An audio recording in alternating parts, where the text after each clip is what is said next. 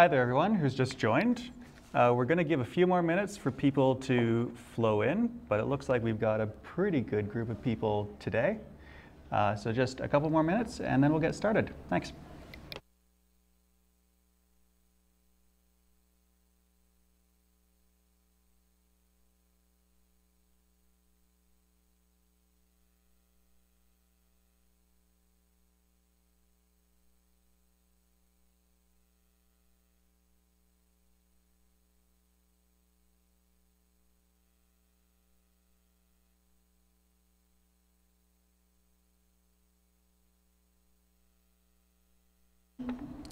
Mic check on the YouTube stream.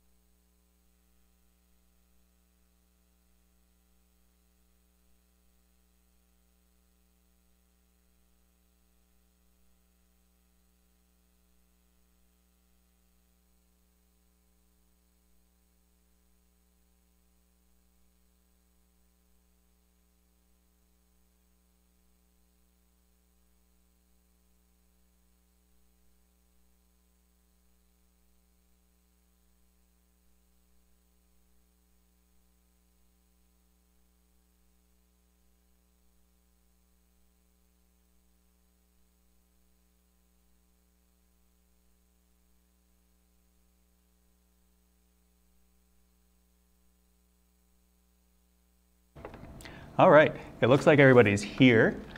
Um, welcome to the second part of how to implement anti-racism culture in an early stage business or startup with Paige Galette.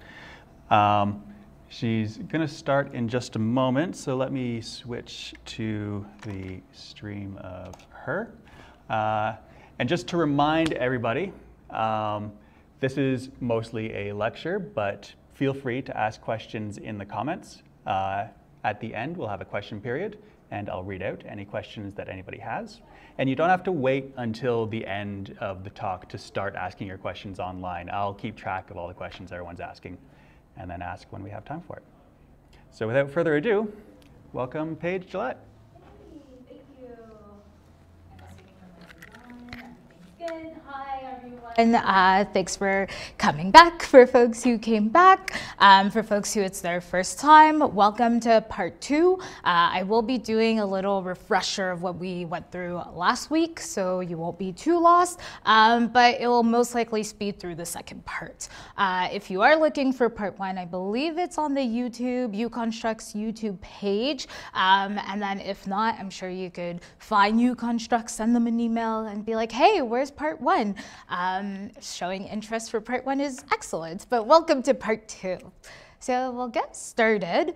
Um, yeah. So just in terms of acknowledgement or re-acknowledgement, because we're in part two, um, of course this workshop uh, has been created and facilitated on the traditional territories of the Kwanlin First Nation and Ta'an Council. Uh, and conversation surrounding anti-racism is never easy, um, never really fun. So do take the space that you need to be able to learn. If you're in person and it's getting too heavy, feel free to get up. Just mind the camera um, when you're leaving. Um, and then for folks who are online, feel free to take a break and come back to uh, the full webinar that's going to be on YouTube.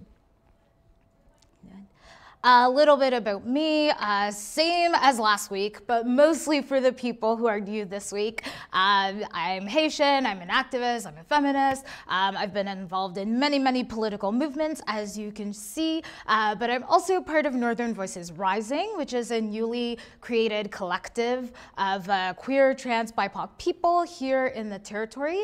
Uh, and we're pretty rad. Check us out on Facebook, uh, check us out on our website, northernvoicesrising.ca. Okay, Okay, so I know Rick mentioned it for folks that are online. If you have any questions, um, send your questions, please do. This is webinar, but I will be able to answer it. Hooray for live things. Um, but also for the people in person, uh, we'll go through the people's questions at the webinar first, and then after we will continue on the questions in person. Um, but maybe a five minute break so I can go to the loo and do whatever I need to do before going into those questions. Okay, so a little refresher from last week. Uh, so last week we went through, uh, you know, we all want to, oh, no problem. Good thing I created it.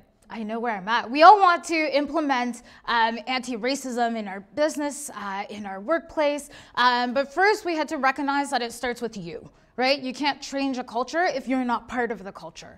Um, and so we talked about recognizing your own biases. Um, to do that, you need to learn, but you also need to unlearn a lot, a lot of things. Um, and you need to be involved. You need to be involved in your community. Um, you need to be involved uh, in, in supporting communities around you. Uh, we talked about concept to action, so the words and what their meanings are. So we talked about anti-black uh, racism. We talked about anti-racism. We talked about white supremacy and dismantling white supremacy. Um, again, if you need a refresher, check out part one on YouTube. Um, and uh, we, we used examples in ways that these words, these big words manifest, um, especially in the business context, uh, and concrete ways to dismantle the bad, bad words. Uh, we finally did a deep dive into internal practice. Um, so when we're talking about human resources, uh, we talked about hiring more racialized people. Um, we did talk about diversity and inclusion and how we really need to use equity when we're talking about diversity and inclusion. Um, and that change needs to happen by implementing internal policies. Uh, we talked about work culture and we talked about calls to action. I actually am so happy to be doing part two this week because last night I was listening to a podcast um, called For the Love of Work, and they were talking about inclusion, diversity, and what they called belonging. And I was like, oh, that's actually so wicked. That was part one. So if you're a podcast person like me, check it out. Um, for the love of work, it's pretty easy to remember because not everybody loves our work. So for the love of work is what it's called. Um, and so today what we'll do is uh, deep dive into marketing and communications. Um, how does that play out when we're talking about an anti-racist framework? Uh, we'll talk about uh, client and customer engagement. I'm using the words client and customer, but I'm also recognizing them. Some folks may not have clients, you actually have members and membership. Um, so just so you know, whenever I say client or customer, I also mean membership engagement. Uh, and then we'll talk about this new word that everybody loves called social innovation. Um, but how can you implement social innovation in an anti-racist framework? Okay, this is also really exciting for me because I get so excited when I hear marketing and communications. I'm like, oh, let's get pop culture in there. Uh, but also, what is marketing, you know, in terms of uh, not just finding people and marketing strategy, of course, uh, but it's your branding. It's really who people will get to know um, without actually asking you the questions. Uh, you know, it obviously obviously answers the by who, um, for who, with who, and the what, so your products, um, and the where, which is the location. If you're a Yukoner, you probably have it in your logo. We like to show off our fireweed, we love to show off our mountains, um, but it's pretty obvious that we're talking about the location as well. Uh, but the case is that in terms of marketing, many businesses lack in diversity, um, both in hiring and in marketing. So uh, of course, when we're looking at their ads, when we're looking at um, you know how they portray themselves, we see a lot of white people.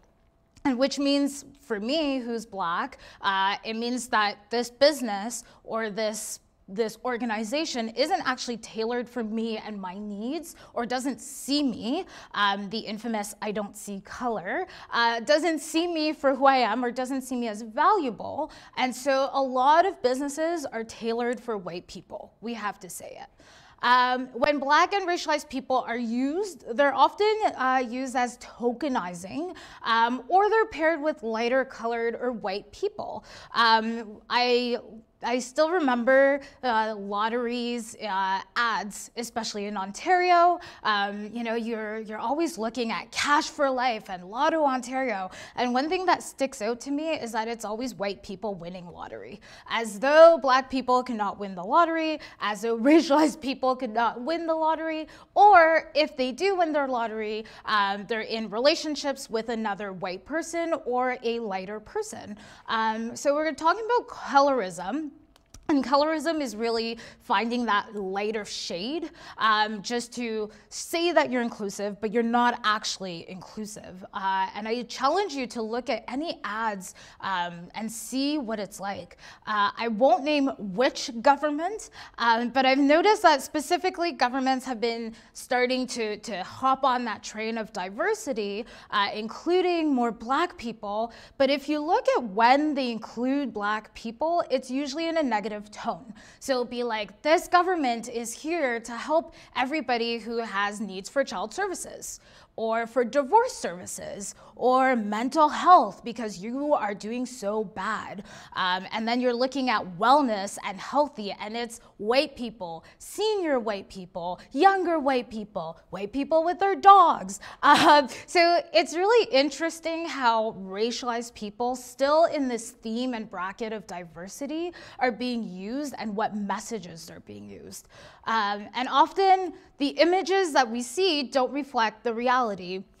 I put the infamous John Travolta meme because that's how I feel whenever I see an organization putting all the black people and then I walk in and I'm like, where are the black people? Where are my people? Um, so it's nice to have that diversity, but if you don't actually reflect the people who you're showing off, um, you're lying. Uh, and that's not okay.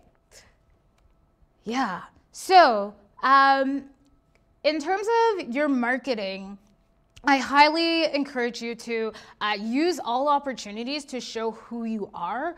Uh, last week we talked about internal policies, uh, mission statements. Uh, you know, I talked about land acknowledgements. I do land acknowledgements um, because I recognize the land and the privilege I have to be on this land that was, um, in some cases, either stolen or because of the resiliency we need to acknowledge that we're able to live and breathe and do what we can. Uh, I put acknowledgements um, because land acknowledgements aren't the only thing you can acknowledge, right? You absolutely can acknowledge that your building, for example, is not accessible. Uh, you can absolutely acknowledge that you are still learning uh, within your anti-racist framework or mindset. Um, and be mindful of language. So I'll use a couple examples later on, but I know there's a trend of finding language because you want to be hip. Um, and so you'll use language that isn't yours to begin with. Um, I see smiles in the room. I'm sure you see where I'm going, but using language like that's lit, that's awesome, that's la la la. And you're thinking, where did you get, okay, maybe not awesome, everyone uses it, but where did you get lit? Wouldn't it be kind of weird if Yukonstruct started saying, hey, we have workshop series and it's gonna be lit? Um, you're not catering to black people because you don't actually include black people. And so when you're using that language, be mindful of where that language comes from, um, but be mindful who uses it and whose culture is it. And it's also important to know that sometimes the language you use is not from your culture and it's not your language to use. Uh, I like to say if you understand where that language came from, would you feel comfortable, you yourself, saying it in the group in which that culture came from? Um, most of the times it's I'm speaking to white people and I say, would you feel comfortable saying that same language in a group of black people? And they'll say no. So why would you do it for your business, especially if you don't include us. Um, so you have to be mindful with your language. Of course, the sun is coming, so I'm going to move a bit. Um, but we talked about HR and hiring racialized people. Um, and so, of course, if you start hiring racialized people, you can start using that language, right? Because that's the people who are the create, um, who are the the creative minds behind your marketing. Um, and I do want to say if you're hiring racialized people, include them not just in your marketing in a tokenizing way, right? Look at me, I've hired this diversity. Uh, but we are also creative people, uh, we are also artists. Ah, yeah, thank you. And we could also come up with ideas. Um, and so you won't have that, that fighting, that constant battle of, am I being inclusive in my language, if your work is already inclusive itself. Uh, I like to say beware of stock images. I can tell when stock images go on sale because suddenly everybody's talking about diversity and has these images. Uh, as racialized people, we know what stock images look like. Um, and for me, when I see a stock image, I'm like, okay, you are selling me not your product, but you're selling me fakeness. And what you're telling me is you want my money, you want to see me, you know, come in and support you, but you don't support me and my existence or my people or my peers. Um, so be aware of stock images and something you can do instead of stock images, you could do a call out um, and say, hey, we're looking for, let's say you're a thrift shop, we're looking for certain people of different sizes, of different ethnicities to come and show off our clothes. Um, you know, ideally you would also give them a discount, that would be nice, or free clothes. Uh, but those are ways that you can contravene the stock image um, funness. I want to talk about allyship um, and performative actions and culture vultures and culture appropriation because those are words that people hear often um, and sometimes they, they'll say hey i'm actually doing what i'm doing is allyship um, but it's actually performative actions so allyship is the understanding that you are an ally which i personally hate the whole I am an ally. Um, I like to think that allyship is not a person, it's not a brand, even though I'm talking about branding and marketing, um, but it's constant work that you're doing in solidarity. Um, but sometimes some people, what they'll do is they'll do that one solidarity action and say, hey, look at me, I'm actually supporting you. But then we realize that you've never supported the people you're, you're trying to support. Um, I think one that comes to mind right now is um, the infamous uh, Blackout Tuesday, where we saw a lot of businesses change their profile pictures for the blackout um, profile picture. Uh, and, you know, a lot of us racialized people are going, well, isn't that ironic that this person is putting this Blackout Tuesday? How is this profile picture actually going to support the livelihoods of black people?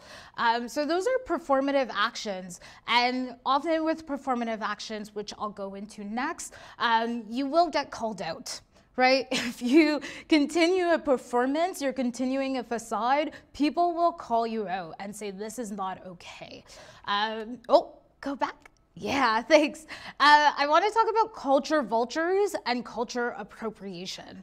Um, so a lot of times I'm seeing people, especially around Halloween, because it's the infamous Halloween time, it's coming up, people will say, I want to support people, um, and so I want to embrace the culture, and for that reason, I will do um, something that's either mimicking the culture, um, because I, I, I support it, I embrace it, I love it. And, you know, culture vultures, the term, uh, as you can hear in terms of vulture, is you're stealing, right? You're stealing people's creations. You're not giving them the proper, um, the proper acknowledgement. Uh, something that we could see with culture vultures, for example, is TikTok. I'm sure folks that are of the younger generation or have younger youth will know what a TikTok is. Um, and you've seen the call out recently with a lot of young black either uh, youth uh, creating content uh, and then they don't get as much acknowledgement or it's not seen as beautiful as their counterparts that are young white youth. Um, and for that we say, well, that's culture vulture. You didn't actually give credit to the people who, who started it. You just recreated something and claimed it as your own. Uh, culture appropriation is another one, but I want to deep dive in terms of when you're a business owner. Um, sometimes you'll see, and there's a huge conversation, especially now happening in Vancouver, where a white woman decided to uh, sell garments and sell it in the I, I appreciate we always hear those words i appreciate first nations culture. I decided to create this uh, clothing line for white people but i didn't want to make it too much like the first nations art because it would be too much for for the white people. Um, so great, great for appropriate, and I say great, obviously I'm, I'm not saying great, um, but you're appropriating someone's culture. You have no idea the historical context of where that art came from, only for your own business and your own benefit. That's not okay, and you will get called out for it. So, do you understand the difference between allyship, performative actions, culture vultures, and culture appropriation. Um, and of course, if you're anti racist, you have to understand that sometimes the business you're creating might not be the business you should be creating in the first place. And that's a hard pill to swallow for some people. Um, sometimes you'll hear people say, well, of course I can do this. My husband or my wife is so and so identity. Um, and I, I want to say, be careful when you're claiming somebody else's identity because you can't claim their experience. Uh, and so when you do get called out, keep in mind that a lot of times when people call you out, it's because not only did you do some of these actions, but you're not actually acting in allyship. You're actually um, further either stereotyping their identity um, or you're not um, putting forward what their true experiences are with their own language, right? Um, so just be mindful, uh, and by being mindful, don't do it. So I wanted to use a couple examples. Um, I as a queer woman, love my queer family because we always try to be the most accessible, the most progressive, um, and we often succeed. Uh, so I wanted to give an example of Bricks and Glitter. Uh, this is the splash page to their website. Um, so when you check out Bricks and Glitter, it's the first thing that comes up. Um, and you can see on their website, it says about us events, land acknowledgement. Um, of course, get involved, fundraising, English, French, etc. But um, you know, it, it's really nice to see that there's land acknowledgement because I know right away what I'm dealing with. I know right away who they are. I know that they're inclusive. I can see from their images that they're inclusive, and I, it helps me to believe what I'm seeing because I see that there's a land acknowledgement. If we go to the next one, um, this one is uh, um, one of my friends from Toronto uh, who is a soap maker. Um, and in the About section, uh, she declares exactly what she's about. Um, so she goes into uh, the, the, the land acknowledgement, but she also states what that land acknowledgement means to her and what it means to her business. And I wanted to include that because, yes, sometimes you see land acknowledgements and it's kind of brushed under the rug. Um, and sometimes, again, with that performative actions that I was talking about, you wonder why is there a land acknowledgement? I want to know that when you do a land acknowledgement or any acknowledgement, uh, you truly believe in it, but you also understand the impacts of your land acknowledgement. Um, there's also language that she's using. Um, you'll notice sometimes there's there's lots of language that we can use. So folks will sometimes have an X, women has an A. Um, on her other uh, page, she'll also write her pronouns. Um, she and her. Uh, so again, you know that it's inclusive. Yes, there is the anti-racist framework, but she's also cautious of other oppressions. And she's also saying, okay, I'm not just going to be in solidarity with people um, for their ethnicity, but understanding that that ethnicity has uh, intersectionality, which we went through last week. Yeah, so the infamous call out and call in. Um, I do want to, to spend time on it because it, it's one of my favorites, um, especially as an educator. Um, I uh, you know, of course, love to see call outs. I love to see call ins, um, but they do serve their purpose. Um, and often I see people so afraid of acting or so afraid of doing the right things because they don't want to be called out. Um, and as I mentioned last week, you will make mistakes. It is the nature of it. This workshop will probably be old in five years right? In five years' time, I'll probably look at it and be like, what was I talking about? We need to change this language. Um, so call out, uh, you know, it's uh, being exposed in public. Um, you're being challenged for your behavior, for your actions. Um, and it could be a conversation starter or it can be a conversation continuum. Uh, and sometimes with call outs, what I hope you understand is that racialized people, especially since we're talking about anti-racist framework, racialized people will find ways to call you in before they call you out. Um, and that might look like, you know, hey, can we have a conversation about this? I don't feel comfortable. Or, you know, this is kind of weird to me. Sometimes it's not as obvious because we're not in a position to tell you what you're doing is blatantly wrong. Um, and that means sometimes we can't tell you. We can't go into the call-in. Uh, when we talked about diversity and inclusion in the workplace, if you're the one black person who's fearful for your job, you will most likely will not have that conversation with your boss. Um, you will most likely be like, I cannot call you in because I'm not in that position to, to have this conversation. I'm fearing for my work. Um, and so recognize the little signs that comes out with callouts. Um, of course, callouts can be very public. Um, they could be in the news. Uh, they could be on social media. They could be on your Facebook post. Um, you know, sometimes it could be something you have nothing, you didn't see it coming, and some people are like, "What just happened?" Um, sometimes it could be posters around town. Um, you know, you're walking around and you see a posters being talked about your work of place. Uh, it could also be word of mouth. Um, sometimes it happens that it creates a scandal. Um, and really the whole point of a call out is public shaming, of course, but it's public shaming because it's a call to action. Again, it's that last resort saying, I couldn't get through to you in any other ways possible. And so now shame is going to be the way you're going to have to learn.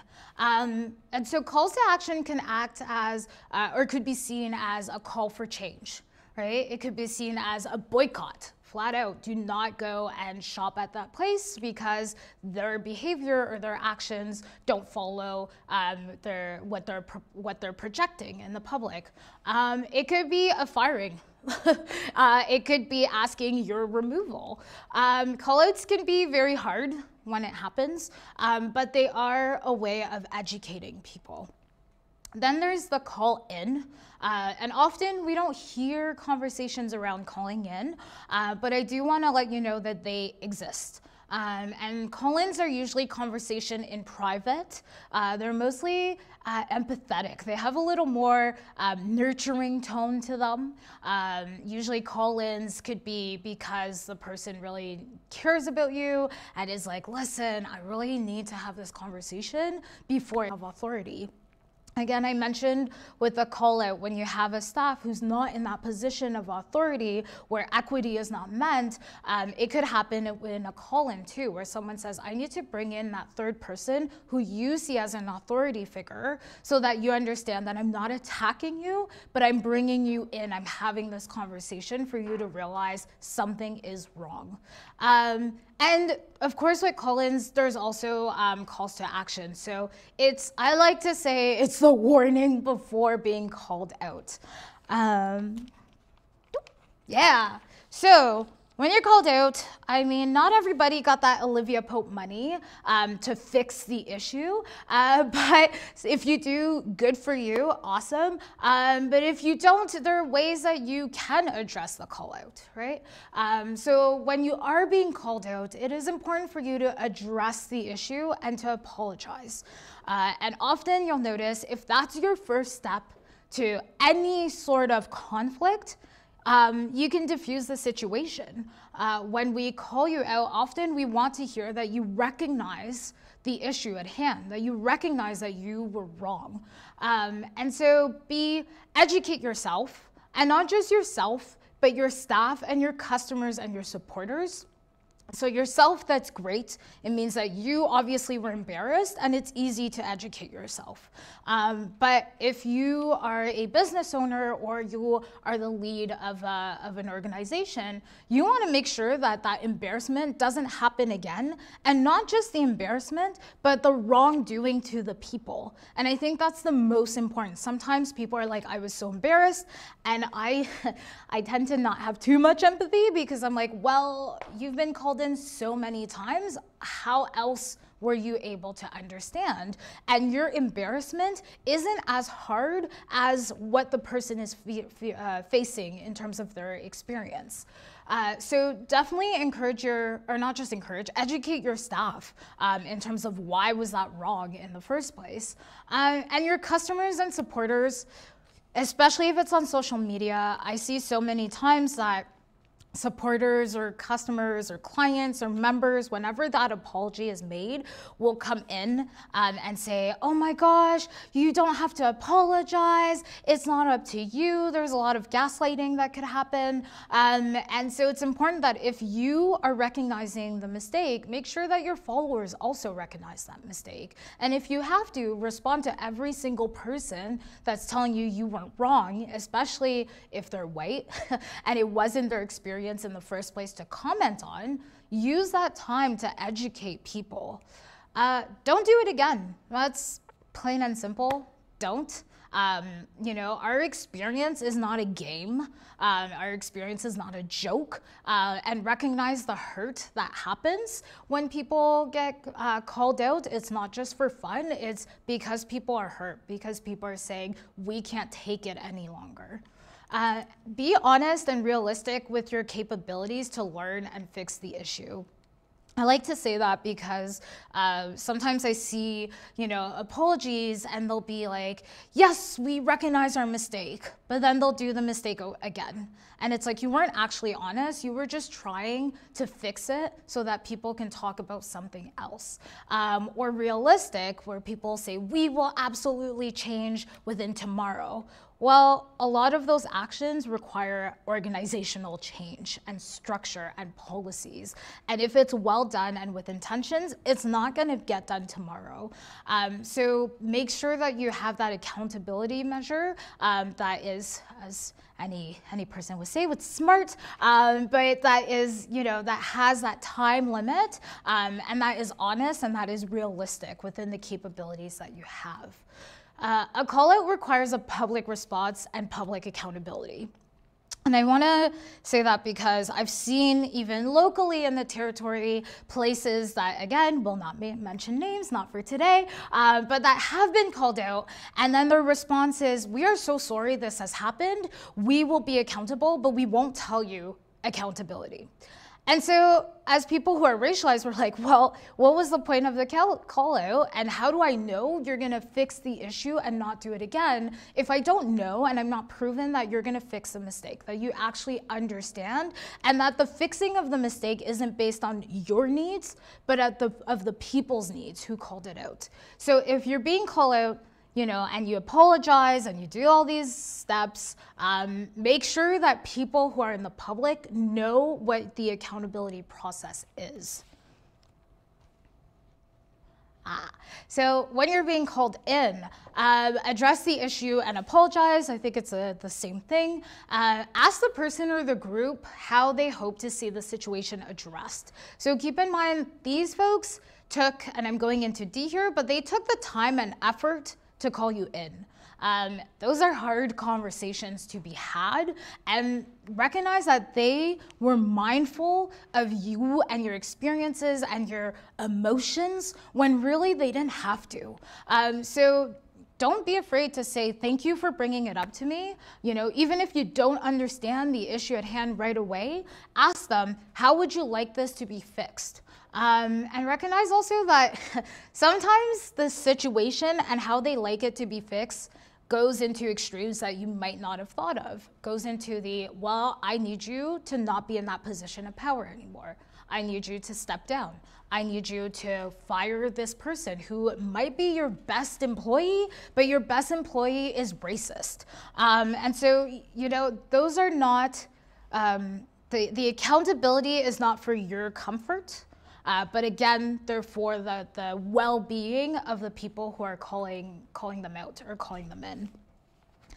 Um, include the person and the group in your accountability process. Uh, that could also look like asking them you know, what, not just what you'd like to see, but how would you like to see it implemented? Um, and I, the accountability process that I've seen most succeed is when the people who I've called out have been involved every step of the way uh, and that there's a follow-up. It's not just, great, thank you, uh, I will do it, but then you never hear back. Uh, but there's a, let's come back to it in one month. And we have these landmarks and we know, okay, by this time, I was supposed to educate myself, take this course, I was supposed to fire this person, this has happened. By this time, I was supposed to do X, Y, and Z follow up with that person. And even if that accountability process, let's say was within a year, come back to it the year after. You know, you want to make sure you don't repeat it. Um, make sure that the change that you're bringing is sustainable um, and that you're not in the same position all over again. Ah, my favorite. Um, racialized people's reactions, whether they're angry, um, whether they say language that you might not approve of, um, whether it's tearful, whatever their reaction is, uh, know that they're valid and they're warranted. Uh, it takes a lot to call people out, but it also takes a lot to experience these things, right? Those are experiences that you yourself might never, and I'm, I'm saying you, keeping in mind that I'm talking to a white audience, you yourself will never go through these experiences. No matter how many movies you may watch, no matter how many books you may read, these experiences are ours. They're very specific, um, and the person is really bringing themselves um, in, a, in a position of vulnerability and recognize that it's not about you. Um, white tears and white fragility is not valid and is not warranted, and know the difference. Um, so, what do I mean by white tears? I literally mean white tears. um, people who uh, and I see smiles in the room. Um, you've probably seen it before. People who start to cry, right? You're telling someone, and especially racialized people, will say, hey, this wasn't right, or I don't feel comfortable. And that person feels so attacked with their emotions, they start to cry. And what happens is that we're no longer you know, talking about the issue at hand. We're now focusing all our energy on your tears and your issue when really that wasn't the, the, the subject in the first place. Um, white tears doesn't always have to be tears. Uh, it can happen with people walking away right? You're having a conversation and suddenly somebody gets up and leaves. Um, it could be playing the victim. You know, I can't believe you told me this. Me, Deborah, how could you, Paige? I'm Deborah. We like our kids play together. Um, there, or it could be the empty threats. So, of course, you would say this. Uh, you just think I should quit, right? So, what? I should quit. Um, and sometimes when I, when I'm faced with white tears, I'm not the best person. I have to say it. I am not the best person. Um, I'm not the one um, to be seen with with someone someone with white tears because especially empty threats, people will say, of course, you think I should quit. And my reaction is, well, quit. You know, if this was something that you're thinking of, I didn't bring it up. What I was trying to do was educate you. What I was trying to do is show you that there's a problem, that it's fixable. And so if this is too much for you, maybe you're not in the best position to take on other issues. And if this is too much for you to take on, imagine all the other issues that are coming up. Um, so yeah, empty threats might come with someone like me who's like, good, act on it. You know, ch I challenge you, go for it. White fragility, a little bit of the same thing, but it's that defensive mode. Um, and white people, I have to say, you get very defensive when we're talking about race. Um, it's, ooh, there's a little feedback. Yeah. Um, it's, yeah, I'll say it again just because there was feedback. White people, when we're talking about race, you get defensive. Um, it gets into, it looks like gaslighting, right? Um, so things like, let's say I call you out, and then people will say, oh my God, you're so sensitive You're so paranoid. Uh, it was just a joke. Um, it's because uh, you don't know me. Uh, it could come out as passive aggressive or fakeness. Uh, I love this sentence that I get sometimes is, I understand where you're coming from. And sometimes I'm like, you clearly don't understand where I'm coming from because if so, we wouldn't be in this conversation in the first place. So what do you mean by I understand where you're coming from? Uh, it could also look like affirming, uh, affirming other white people.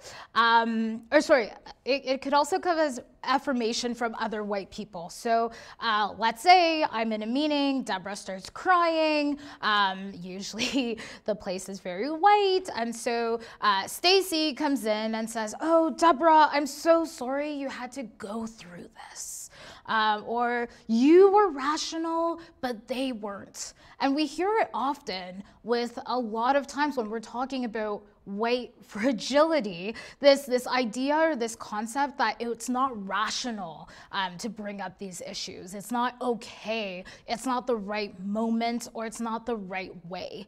Um, I appreciate you. You've been so good to me. So you're not the bad person. Uh, again, these times when we do call you out or call you in, it's not about you. And that's really important to, to recognize. Um, and please don't make joke or fun of the situation. Um, I could give you examples. If you look at, you know, any CBC article, whenever it talks about race, you will have the five, six bozos that will be like, oh my gosh, it was just a joke, get over it. Again, our experiences are not jokes. this, is, this is the anxieties that we go through every day. Um, and if we can understand that COVID brings on anxiety, I think we can understand that racial injustice also brings on anxieties. Um, yeah, okay. This is my favorite because I'm sure people who are Yukoners will go, oh my God, Paige went there. I love situations like this because um, they happen in real life. And I like to think any moment is a teachable moment. So if ever there's somebody from GNP that's on the call and you think it was unwarranted, know that this is an educational moment. Know that I'm not trying to be petty. Um, and if I was, it wouldn't come out like this. But I think for anybody else who doesn't know, A, recognize that you can be in my PowerPoint next time. Um, so thank you for the content, but B, recognize that you will make mistakes and it's important that we need to learn from it. So um, I will not read the language that is uh, on the screen uh, because they actually used uh, ableist language, um, but I will give the context. So uh, GNP is a pizza pizzeria in Whitehorse, um, and they wanted to give out free pizza. Um, and one of their ways of client engagement, which we will go to in the next slide, um, but one of the ways they wanted to engage their clients was to start this campaign um, the We Love Karens. Uh, and it pretty much addresses uh, the term uh, Karen um, and saying, you know, we love the Karens so much that we will give them free pizzas. We have to talk about where that language came from. So again, remember when I was talking about language, know the language you are using. Um, I wish that they had done a Google search um, or that they would have known that the term Karen um, was coined by black people to, uh, to dish out our experience at saying, when we get followed in stores or when we are managers ourselves or when we are in positions of power, we are challenged and it's not okay. And sometimes we are challenged, sometimes often. We are challenged for reasons that are unwarranted. Um, and so black people coined the term Karen. Um, a little irony about this with me is that uh, back in the 90s, the term was actually called Paige. There were lots of Paiges. Um, and you knew exactly what we talked about. Uh, it's a name. Yes, it's a way for Black people to find humor in our pains, but also saying we need to stop this. We need to stop the, the Karens or the Stacys or the Felicias or the Barbs and Judys, etc. But this pizzeria decided to talk about the Karens. So you can imagine what happened. Uh, racialized people were like, excuse me, that's not going to happen. You can't just give out pizza to white people without actually addressing the anti-blackness in in what the situation is. Um, and again, I'll let you read uh, their statement, but to give you an idea, uh, it didn't actually happen right away like this. So first, the post was on, um, and then we, as racialized people, we noticed that every time a racialized person would say, this is not okay, their comment would be deleted. Um, and that was really interesting because it's like, why are you silencing us? Again, we are calling you out by saying this is not okay. We are educating you and saying, what you're doing is wrong. You might want to reconsider this, this, this goal that you have. On the other hand, you had a lot of white Karens that were like, thank you so much. I'm here to claim my free pizza without actually understanding the context in which why it's infuriating racialized people and understandably mostly and mostly black people. So um, they deleted uh, the post. Um, I got really quick on it. I did a screenshot, uh, but then they recognized their error and they issued a statement. So when we're talking about call out, you know, the second phase to the call out is recognizing your error and apologize. So you can read that they've apologized. Maybe we'll leave it for like five seconds.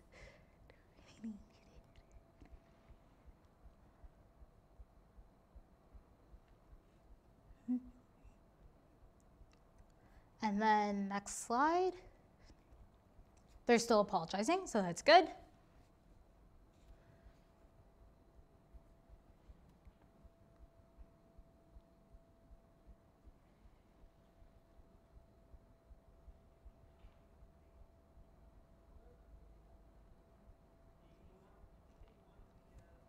And then next slide. And this is what I want to focus on. So they've issued their statement, they apologized, um, but remember about, you know, do apologize with intentions. Uh, and so if ever, again, if ever people from GMP is on the call or if ever the Olivia Pope who wrote this is on the call, if they had a communication strategist to do this or not. This is not me um, attacking your work, but this is me uh, showing what we can talk, what concrete actions can come out of a public apology. Um, so the first thing that we see is owners and management are going to educate themselves about the experiences of our brothers and sisters of color. I'm going to stop here. Um, so first off, recognize that it was an anti-black racist uh, event. Uh, and so black people are not people of color. Uh, so use language that is specific. And when you're educating yourself, educate yourself in terms of who exactly did you offend. Uh, they could have also, um, we're talking about the gender binary, uh, there's a lot of brothers and sisters. Um, be mindful of how racialized people use those terms right? If somebody's white and comes up to me and says, "Hey, my sister," I look at them and go, "Ooh, ooh what, what? No, we, I don't know you like that." Um, and also, not everybody are brothers or sisters, so they could have easily said the folks um, who are black, indigenous, and people of color, or racialized as well. Uh, this will include steps of educating ourselves through re uh, regularly watching APTN, I, I'm pausing on this because when I read this, I was like, oh, that's, that's kind of awkward. You kind of outed yourself for not supporting APTN in the first place. But also, what's the intention of watching APTN? So you're watching news, that's like me pretty much saying, hey, I'm sorry I offended white people. I'm going to watch CBC News you're not actually addressing the issue, right? So when you say you're watching APTN um, and understanding indigenous perspective, again, this was an anti-black statement. You can't fix anti-blackness by supporting or by fixing anti-indigeneity. So understand what the issue was at hand. And I'm sure if somebody was there, either a black staff or someone who was knowledgeable, could have easily told them, hey, this is an anti-black moment right? So you can't combat one race with another race's issue, or race, I should say ethnicity or identity. Um, so understand, or sorry, go into what's the intention. What's the intention of watching APTN? Um, so, okay, you're going to support APTN, great, sure. Um, and reading the works of anti racist scholars which is good, which is great. Read the books, but also recognize that um, not just scholars can talk about anti racism and anti black racism right? There's lots of activists that are doing so many posts, so many moments, so many stories about anti Black racism. So, yes, as much as supporting the scholars is good, it's great, it's you recognizing that we do have scholars. Also, recognize that not everybody can achieve that, that, that stature of being scholars. Um, that sometimes education happens in a public way. And what I mean by public is, um, you know, people who can't access access the academia or that title. Uh, it, does, uh, it does happen on the ground. We'll be contributing mini pizzas to the organizations. Good, good job. Uh, we won't repeat this mistake. I like that. it's good that I know that you told me, um, but it could be more. How do I know that you won't repeat this mistake? Right? How do I know that your intentions is not just to say, again, we're going to write this statement, nobody's going to talk about it again because we're going to say we're sorry and it's fine. Um, and so things that they could have added um, is how are they not going to repeat this mistakes? You know, how do they know that they fully understand that, of course, they're not going to talk about Karens. I'm sure whoever made that post will never talk about a Karen ever again. But how do I know you're not going to use Stacy next time? Or you're not going to use words like that was lit? Or you're not going to do something that's culture appropriative? I want to know exactly how I can hold you accountable. Um, I also want to know when. So we won't repeat this mistake tomorrow, but it's going to come back again. We won't repeat this mistake next year. How do I know that you are recognizing there's a there's a change in your culture and in your work culture that needs to happen? So something they could have added is we won't repeat this mistake. We will be, uh, you know, uh, making sure that there's mandatory trainings for our staff, for our owners, for our managers, and for our patrons. Because if you go on that post, and I do encourage you, I always encourage people to, to look on Facebook um, because the content is there. Do look at that post and especially the apology because the apology is still there. Look at the customers and how they're engaging. And a lot of that engagement is gaslighting. A lot of it's, I can't believe you're writing this. You didn't have to be in this situation in the first place. Um, you have Karens that are in town that are saying, uh, well, I'm a Karen and I wasn't offended and I still want my pizza. You have other people that are saying, well, I can't believe you wrote this statement, so I'm going to call the manager. How do you think it, we feel when we see this statement, but we don't see you actually educating the people who are your clients? Um, and so those are ways that you can demonstrate, if it happens to you, that you are really supporting the statement, you are backing up the, the statement that you're making, and that you're here to change the culture.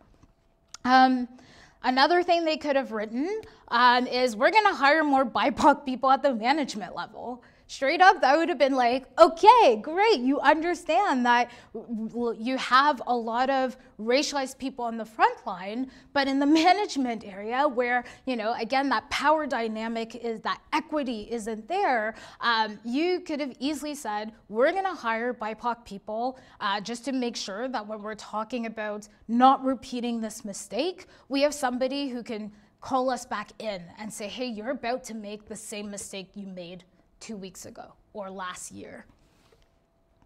Uh, and finally, an action plan would have been great. Um, and I'm seeing more action plan. The word accountability and transparency are words that uh, sometimes I go, oh my God, here we go again with these words, um, because sometimes they're just words and I don't actually see the action plan and I don't actually see how me as a racialized person, I could hold you accountable. And that at the end of the day, not just the apology, I want to make sure I'm not going to be flustered once and for all, or sorry, again. Um, and so an action plan would have been great. So starting tomorrow, we are shutting down our office business, or sorry, we are shutting down our business because we obviously need to educate ourselves, right?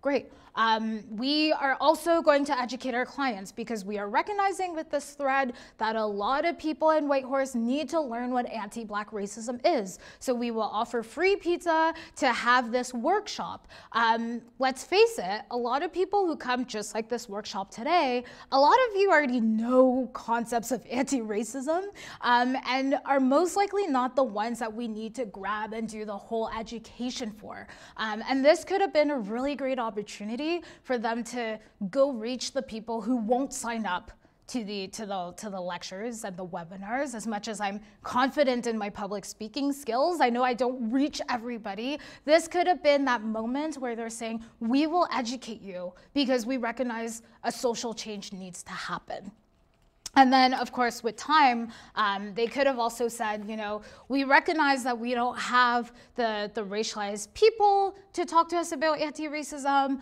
They could have had a town hall or a consultation. There are many ways, and I'm going to go into that next, but there are many ways that you can engage people when we're talking about anti-racism.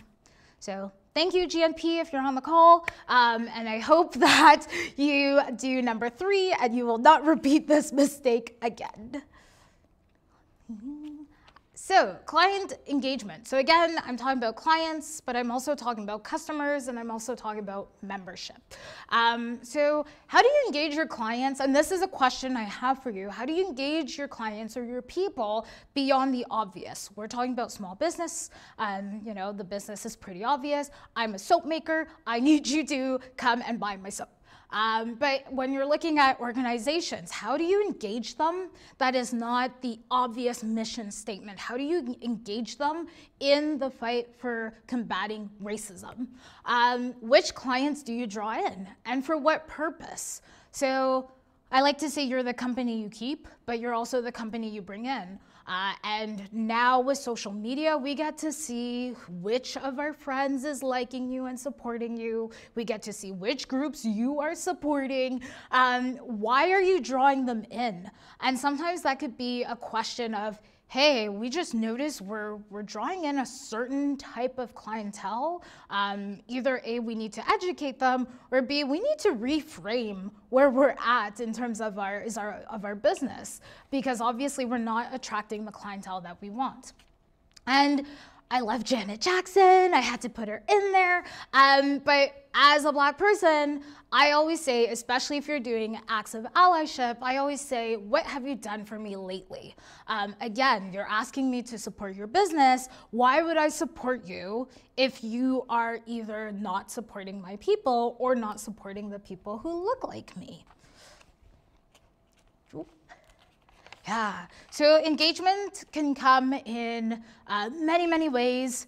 Be creative, right? Social media, through donation, through education, through offer of space, through pop-ups. Uh, we are in this era, especially COVID, where uh, pop-ups are a thing. Um, and you can collaborate with either a business, especially if you're just starting, collaborate with a more established business and say, you know what, today we will have a pop-up education space you know, we are a coffee, we usually do coffees, um, but today we are giving out free coffee for you to come learn about anti-racism and anti-black racism or anti-indigenous racism.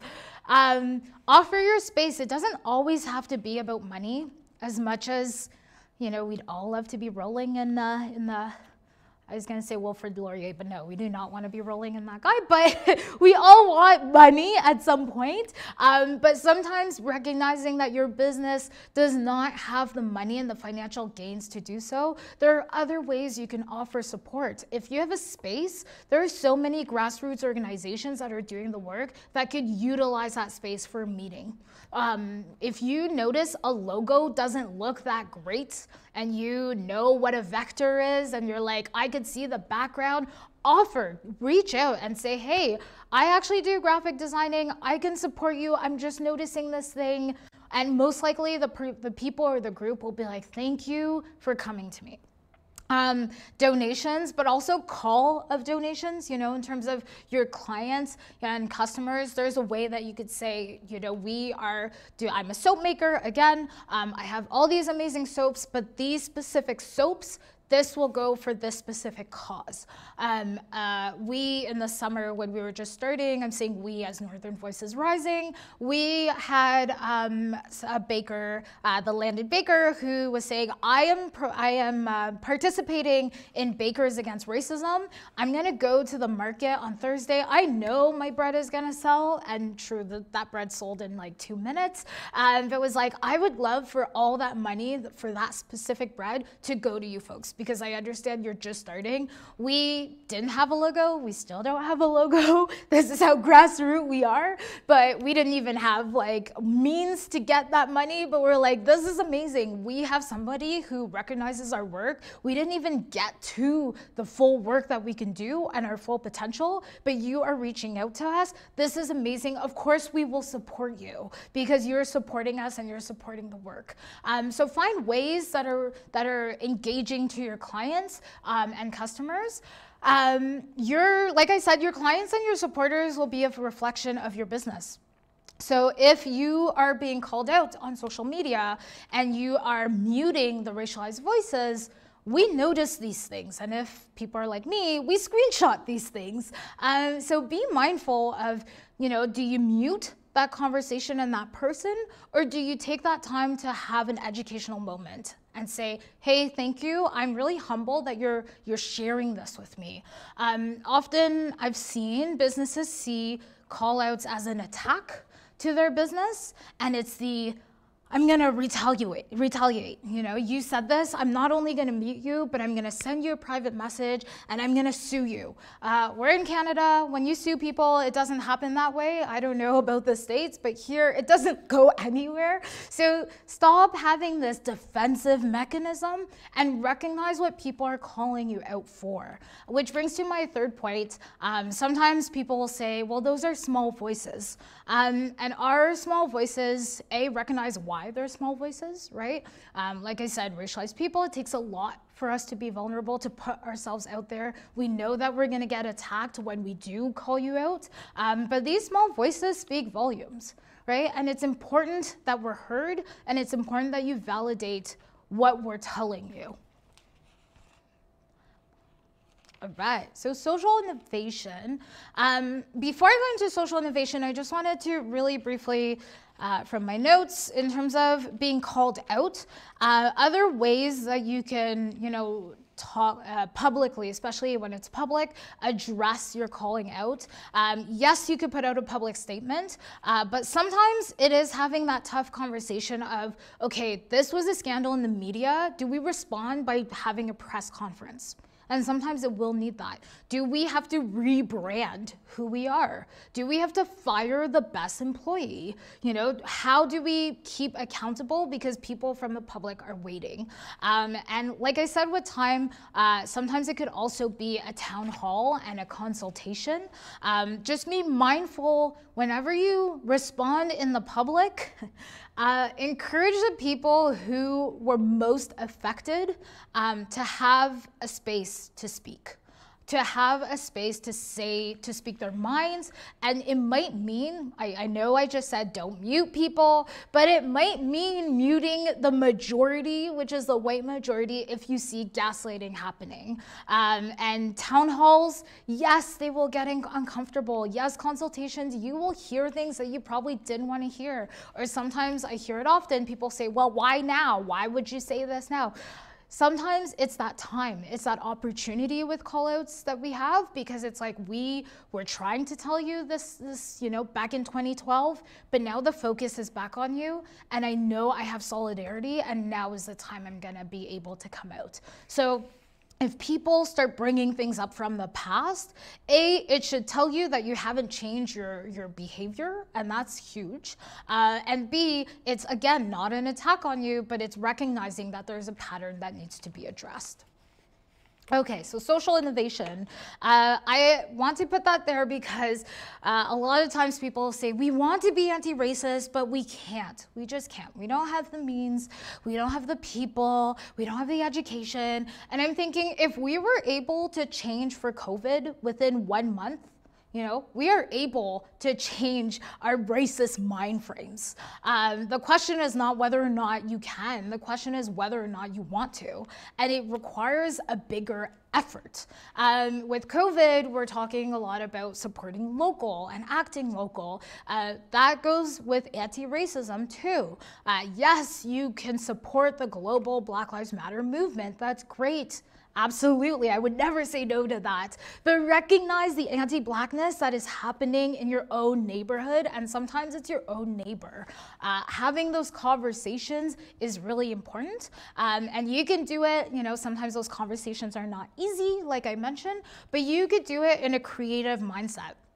So think outside the box uh, for all matters related to your business. Uh, so budget, I talked about it last week, but in your budget, uh, you know, maybe it means maybe I encourage you to have either a solidarity line or uh, we'll see in the next slides, not yet, but we'll see how other businesses were, uh, were innovative in terms of the money that they received and the revenue that they received and how do they give back locally. Uh, it could mean collaborations. Uh, I'm thinking, you know, there's some businesses that do collaborate. Some there's something that happened in Whitehorse over COVID was uh, a lot of the chefs collaborated to create a collective. Uh, those are wicked times that you can collaborate. I think with COVID, we are now in the mindset of we can do things together. I mean, that was the whole marketing framework of COVID is that we're in this together. Well, we can be in this together in combating racism. Um, and your client reach, you know, like I said on social media is a great way to find your clients, but it could also mean in your newsletters. It could also mean when they're coming in in person, um, having those discussions and the discussions that are that are tailored and specific. Um, so uh, the other way, you know, when we're talking about supporting local and anti-racism, keep in mind intersectionalities. So uh, you can support, uh, you know, sorry, what I, where I'm going with this is not just intersectionalities, but have an anti-oppressive framework. So how are you reaching your clientele that are disabled or variously abled? Um, when we're talking about affordability, recognize that racism also goes with the economy and how the economy economy has a huge impact on, uh, has a racialized impact. Um, you know, housing, here in Whitehorse, we have a huge housing crisis.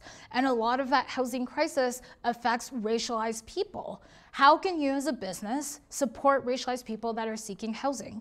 Uh, strike efforts, I wouldn't be a labor activist if I wouldn't mention one strike that is happening in Canada. Um, so folks who don't know or may know, uh, in Newfoundland and Labrador right now, there is the Dominion grocery strike, uh, sorry, Domin Dominion grocery workers that are on strike um, because Dominion is part of President's Choice, it's part of Loblaw, um, and we know is part of of Galen Weston's beautiful babies. Um, but as much as we called them essential workers, their employer removed their $2 pandemic pay. Could we talk about this for a second? $2 um, when they weren't even making $15 an hour.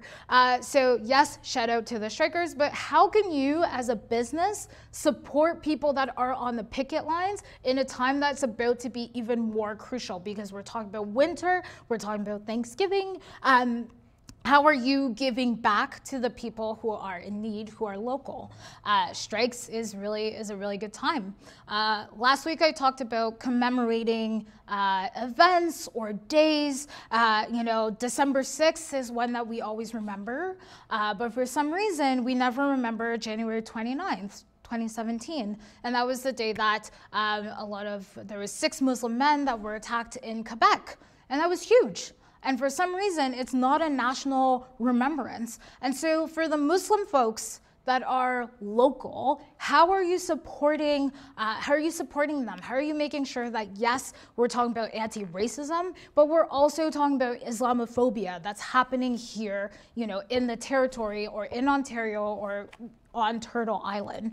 Uh, so racism doesn't always have to be the hot speaking of the flavor of the month, the Black Lives Matter, because racism happens to a lot of people. Uh, sometimes it means refreshing exist existing models. So bursary funds, food drives, uh, the groundwork. Uh, I like to say check out your local activist because your local activist is the one who's doing the groundwork with so many limited resources and is forced to be creative, is forced to be socially innovative. Uh, so if you're not too sure, check out what was done in the past, um, what different strike actions were done in the past, and find a way to remodel it in a way that your business can move forward or your organization can do a little bit of the same things. Um, and this is specifically for racialized business owners, um, the very few that are on this call, but we need to talk about supporting each other. Uh, this is really important because uh, as much as maybe racism isn't affecting you right now, but it, it is only a matter of time. Um, and I, the, the example I like to use is my parents came down uh, to Whitehorse uh, through their first time, and my mom had seen the I think it's uh, up north or north of up north, right? That's in the in the in the airplane, and I was like, yeah, that's you know Auntie Antoinette's restaurant, and I was about to tell her what the restaurant was all about. She's like, you don't need to tell me. It's a black woman. It's a sister. We're gonna go support. I love that because it's like great. We are here to support each other. But if you are a racialized business owner. Uh, there are so many, especially this year, there are so many racialized business owners that are just starting. Um, I'm thinking of Anne's Dumplings. I'm thinking of the folks that um, created the Indian food truck. You know, reach out to them. And if you have to, create a support network and say, hey, let's create a collective to see how we can support each other. Maybe we do that chef collaboration from time to time. Maybe we talk about issues that are about to happen or have happened in the past. Find ways to find each other, support each other, um, and really you're uplifting your community. So, a couple examples. Social innovation, like I said, it doesn't always have to be about specifically what your business does, right? If you're a baker, yes, there are ways that you could find ways through your artistry um, to, to support uh, anti-racist um, uh, actions. Uh, but I wanted to use this example, um, and I'm sure if you folks can read, um, if you can, of course, but uh, the example is there's a few business owners in Ottawa uh, who decided that they were going to teach their workers uh, de-escalation tactics for people in distress. And this came out of in 2016, there was a black man named Abdi Rahman Abdi who was in Bridgehead uh, coffee shops, which anybody who's been in Ottawa knows Bridgehead. They're like the place you get your coffee. Um, this man was in distress uh, and the workers called 911 because that's usually what people do uh, without recognizing that 911 again like i said last week is not the way to assure security for racialized people. 911 actually leads to our death which sadly was the case for abdi rahman abdi. And of course that created uh, a huge momentum around the conversation. Um, it was right in the heat of Black Lives Matter movement, and so obviously people were talking about it, were more sensitive to it. Um, there was a boycott. I still boycott Bridgehead Coffee because of the response when they were called out. Um, but these uh, workers, and most of them are small business owners, I'd like to point that out, um, said, you know what, obviously we need to rethink how we deal with people um, that are in distress. And I say deal, that's not the best, the best term I could use. How we come to support people that are in distress. How we come to realize that security for one person doesn't look like the same security for racialized people. Um, and so these are ways that you, yes, um, just to give you a, a, little bit of their business. So you have um, folks from Little Jo uh, Berry's Bakery. It's a vegan bakery in Ottawa. You have Gong Fu Bao. You have Venus Envy. Uh, you'll notice I'm very supportive of Venus Envy. There they are again. Um, you know, you have Bread by Us. When I'm reading this, Moo Shu Ice Cream, when I'm reading this, I'm like, next time I go to Ottawa, this is who I want to support. Because I know that I'm welcome in your space. And this is a way for me to understand without seeing the website and then land acknowledgement or however they present themselves, I know that I can go there and I can trust them because there's a certain understanding and there's certain actions that they're doing. Uh, so check it out. You can Google it. It was in the Ottawa Citizen. You can reach out to those business owners and ask them, hey, what does this de-escalation tactics look like? Um, and you can implement it in your own business. And again, with support, um, you know, either racialized or non-racialized, you can call them and say, we would like to implement this in Whitehorse. What does that look like? And the way they're doing it might not be the same for Whitehorse because let's face it, Ottawa and Whitehorse are not the same city, uh, but you can tailor it and create a collective of other small business owners um, or other organizations to make sure that that is in place. And that's another way uh, that you are changing the culture uh, of your workspace. Another example, I'm coming back local. Uh, I'm sorry you, you probably can't see the writing, uh, but I do want to use Triple J's as an example. So Triple J's is a collective. They have a canna space, a music uh, space, uh, piercing, tattoos. They're doing rad stuff. Uh, but just recently they released their community investment fund. And something I want to precise about this community investment fund is they're not just giving out money to charities or to non-for-profits, but also, and I quote, passionate groups taking initiatives to make a difference. And those passionate groups are grassroots folks like Northern Voices Rising um, or other groups that, again, might not have the resources, but that will need that support, whether financial um, or other ways as well. I'm sure Triple J's could, could support locally. Um, and so when we're thinking of how do you uh, help local, I love that they wrote, um, you know, people that are they're looking for people or groups that are supporting youth, environment, education, animal welfare, and the arts. Uh, very Yukon, where you have to add your arts and animal welfare. I think that's that's pretty much us. Uh, but I love that they're going out and saying it, we're not specifically supporting a group that has a specific mandate. We are also looking for people who have, uh, you know, education could be a really big one, and it could be really broad. So if you are doing a community investment fund um, or any types of fund, uh, see how you can find ways to support people who don't usually get support. So yes, charities and not-for-profit societies, I've talked about it last week, they get a lot of support, a lot of government support. Yes, reach out to them, but feel free to reach out to the groups that you're seeing are doing the work. The other thing too about the community investment fund is you have to uh, apply, um, which is good. It's not, I, I've seen it, it's not too demanding, but recognize that some groups, sometimes the application process might turn them off and they're like, oh my gosh, it's a competition, I'm never gonna get in, or they're most likely gonna look for specific people. Why? Because we know that the, the that whole framework around grants application can be very exhausting for people. Uh, so sometimes it could also be just reaching out and saying, hey, could we put your name into this box?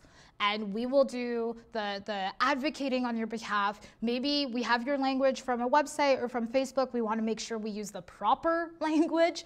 Uh, we don't want to appropriate your language, but can we see that we could support you? And doing that extra work will go a long way for people who might not have the same resources as a non-for-profit or as a charity.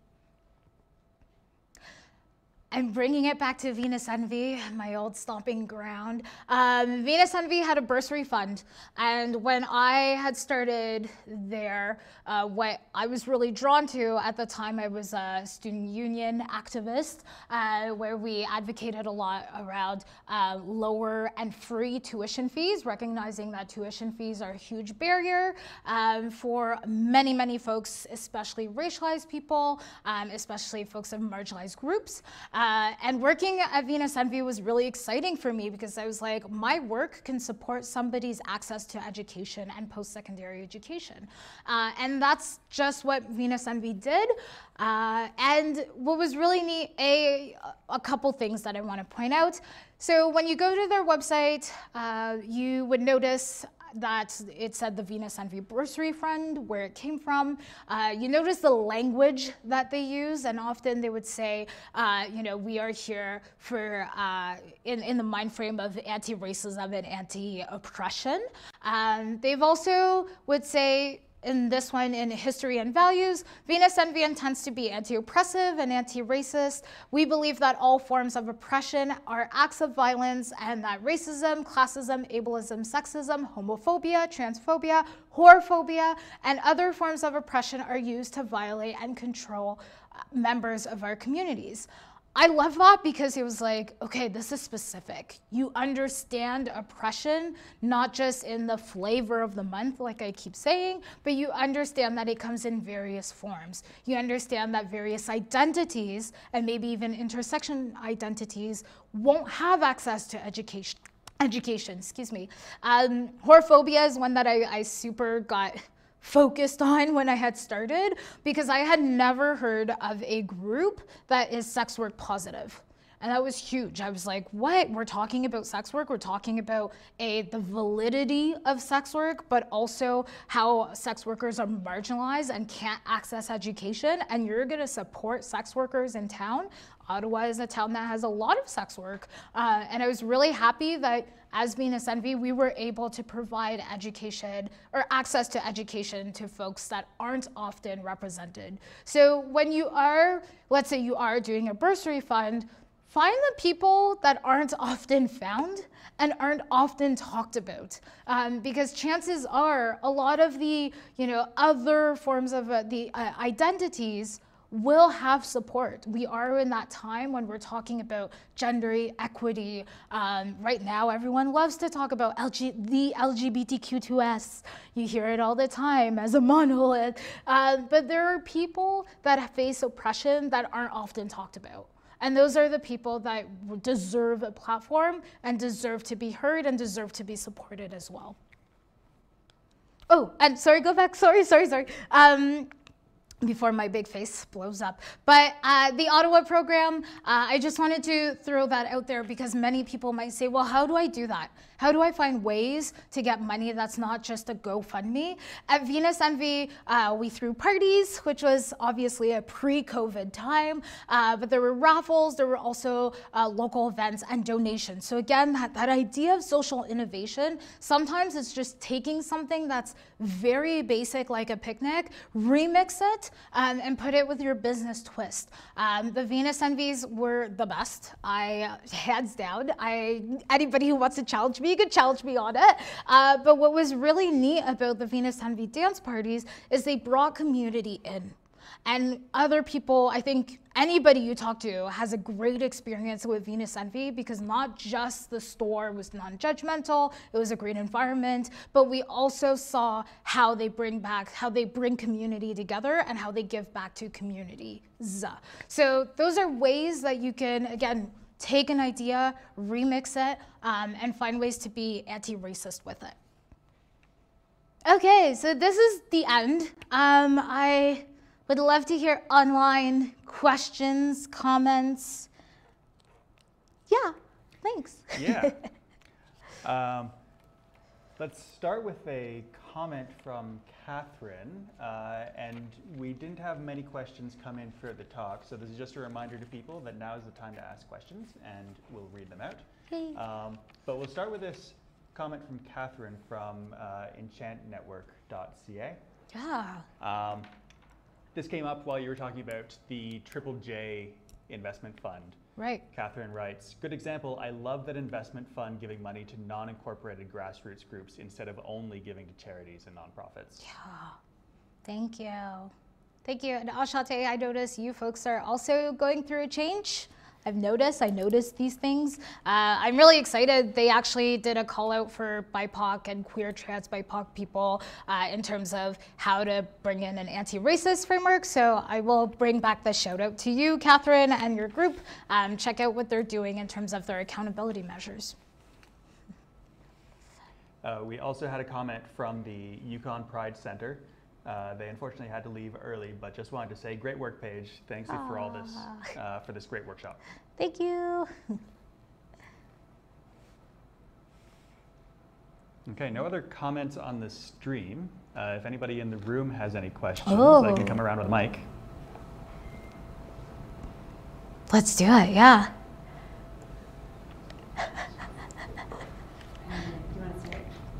No pressure.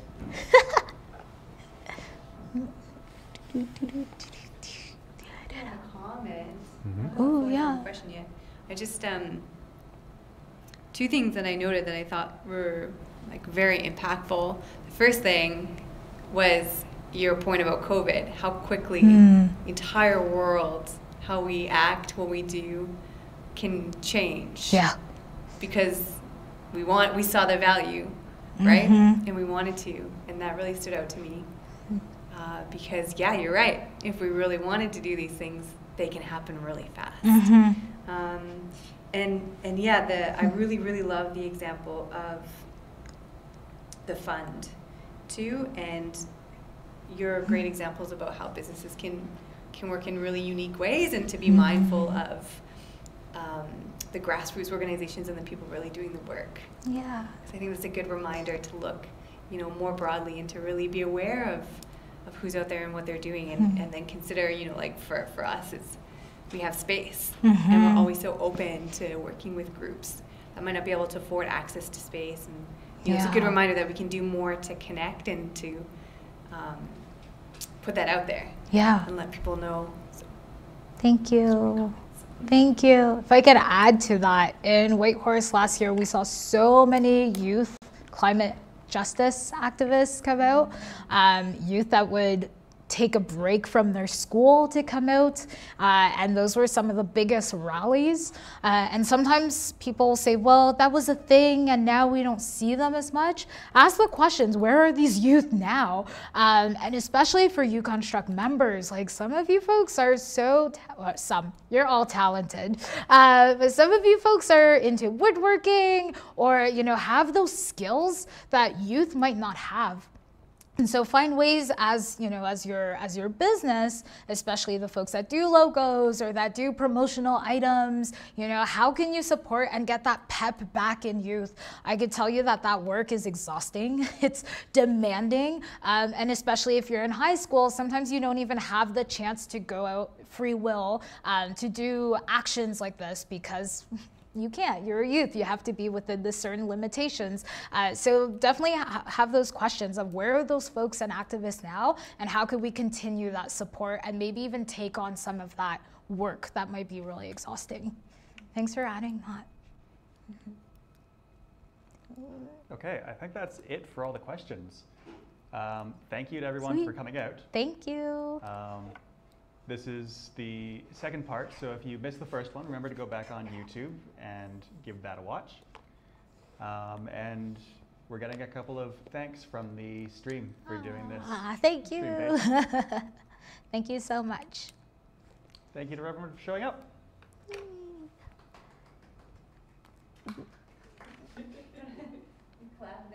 sounds like